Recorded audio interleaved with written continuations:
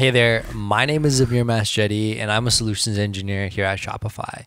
Thanks for tuning into this video. Today, we're going to be taking a look at some API rate limit best practices.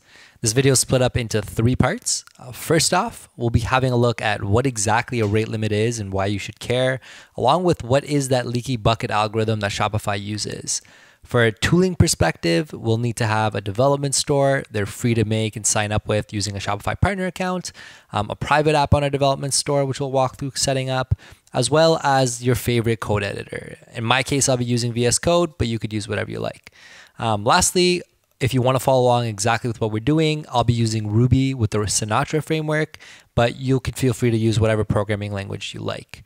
Um, at the end of this series, we'll actually be putting together a complete end-to-end private app on Shopify that tries to make some API calls, gets rate limited, and then deals with it. So if you're interested in that kind of content and you're new here and maybe haven't already, make sure to subscribe, turn on your notifications so you get notified when we put out a new video, and let's just dive in.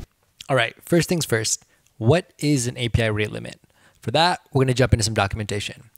Any of the things that I talk about today that is available in our help docs will all be linked below in the description as well, so make sure to check that out. An API rate limit is essentially a way for Shopify to ensure stability of the platform. You see, we have a super flexible API offering that's available in both REST, the web standard, and GraphQL, innovative and new. And if there wasn't a rate limit in place, then people could effectively make as many API calls as they wanted in any moment in time. And at surface value, that might seem pretty good. Why would you want to in any way be restricted when it comes to managing data on the Shopify platform? The issue of that thought process is that it doesn't really do well at scale. You see, if any developer had the opportunity to access the Shopify API and just begin making unlimited number of API requests, well, that's a huge strain on the Shopify servers and ultimately it could lead to downtime downtime for merchants and for overall servers, which means your apps wouldn't work either. So, a API rate limit is a way for us to control the number of requests any given app can make on the platform. And so, it ensures that you are making API calls efficiently and that when you do make an API call, you get a response. The servers are up and the response times are fast because over the entire platform, we're able to maintain a level of requests that come in that ensure we can respond. So, if we take a look at some specifics, there's a few things to mention. Specifically, that API rate limits have different types. The most common type is probably the request based limit, which is used by the REST admin API. And in a request based limit, the rate limit is associated to the number of individual requests you're making. So in this case, we see that we have um, one column that specifies a standard limit for most of our Shopify plans. And then for Shopify Plus merchants, um, those numbers are effectively doubled. So I'll speak in standard terms in most cases. With Shopify's REST admin API, you get two requests per second. And so it's very easy to keep track of and get a sense of how many overall requests you can make over the course of a minute, over the course of an hour, or even over the course of a day. It's two requests per second. Every single request worth of the exact same, whether you are updating something, deleting something, or just getting data. GraphQL takes it to the next level in what we refer to as a calculated query cost. It still gives you the ability to read data and update data via queries and mutations. But the main difference is that we take into account the complexity associated to each of those requests. And frankly, some things like updating data is more resource intensive than just fetching it. So when it comes to any GraphQL request, we consider your rate limit in this concept of points. You're allotted 50 points in a standard plan every second. And the way the points work, really simple. It's 10 points for a mutation. That's anything required to make an update or create new data um, or delete data. And then you're actually only cost one point for fetching an object.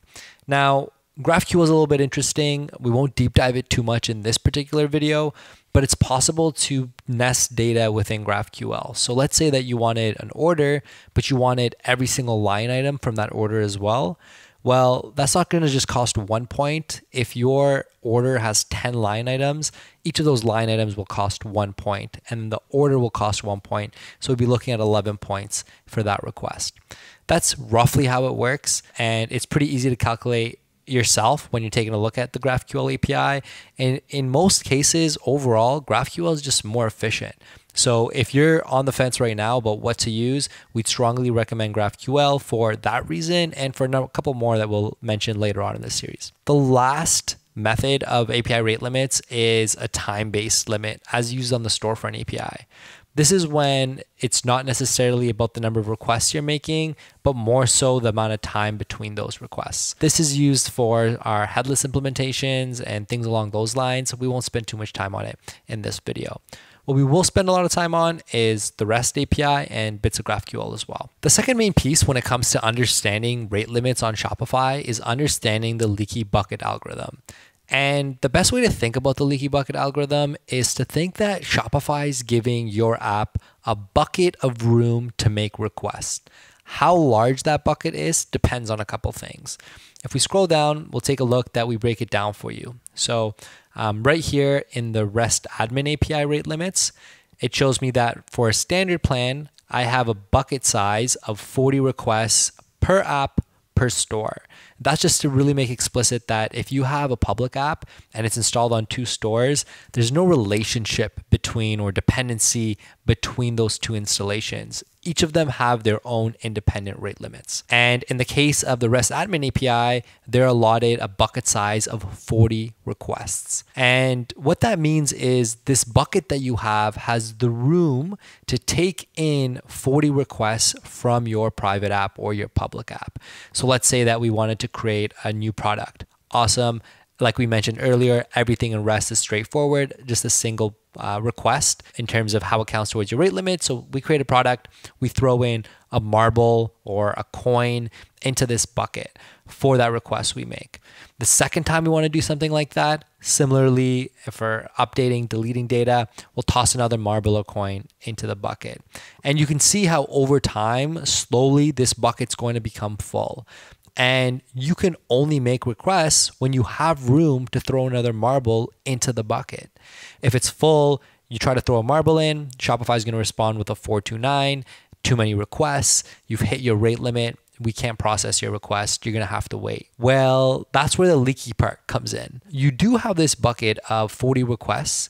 However, at the same time, it's constantly draining previous requests. So what does that mean? That means that every second with a leak rate here of two per second, your bucket gets room for two more marbles or two more requests, assuming there's anything in it at all. If it's just completely empty, you haven't made requests over the last, let's say, hour, the bucket size is still 40. You're not going to gain any additional room. You can't leak out anything that isn't there. But if you do make requests, let's say you make 10 requests all within the same second, then you have filled up 10 out of 40 marbles in your bucket. And one second later, two of them leak out. Your bucket is now has eight marbles and has room for 32 more or for 32 more requests. So at a high level, that's how it works. Um, the reason it's implemented this way, really straightforward, is if we just gave a standard rate limit of uh, two calls per second, what you wouldn't have the flexibility to do is a burst of requests. You wouldn't be able to, let's say, your application works along the lines of an order comes in and every time an order comes in, you update the product that are included, all the products that are included in that order, and you increment a value that's stored in their tags. Uh, maybe you want to keep track of how many you've sold in total. Well, every order is going to have X number of product updates associated with it. And you can quickly see how the more orders that come in, the more requests you'll have to make. Well, with the leaky bucket method, because you have a bucket size of 40, when an order comes in, if it has 20 line items, you can make 20 different requests to each of those products all at once. And even though the leak rate is two calls per second, you'll have room in your bucket because you'll have 20 marbles that go in. After one second, two more of them leave, only 18 in there. And you can see slowly how um, the ability to be able to make a burst or a group of requests all at once gives you and your app a little bit more flexibility. And that's why we've chosen to implement it that way. When it comes to GraphQL, very similar. You are also given a bucket. The bucket just happens to have a different size. So in this case, uh, the bucket is given a thousand cost points and the leak rate is 50 per second. So again, mutations and objects vary in costs. We have a bit of uh, definitions here in terms of how much costs do, um, how much mutations and queries do cost. So you get an understanding of how much or how many requests you can make over a period of time using GraphQL. So that's a little bit about rate limits, the, the different methods that we have, the different types that we have, and why the leaky bucket algorithm exists really for platform stability. And the last thing I want to share, just some fun data, because um, I love data, is our API volume. Uh, this is just one day that I've taken arbitrarily from uh, a previous data set over the last 30 days or so. Um, and in one day, you can see across four of our most popular REST endpoints how much volume we're talking about when it comes to API requests products see 222 unique API calls per day. Inventory levels see 158 million. Orders see 137 million and Metafield see 106 million. So there's a significant amount of traffic that goes through the Shopify servers and we implement rate limits because it's the responsible thing to do and because it means we can then offer the highest level of stability and uptime for our merchants and our partners and we appreciate you folks building your applications responsibly to work within those rate limits. And we'll talk a little bit more about those best practices in our next video.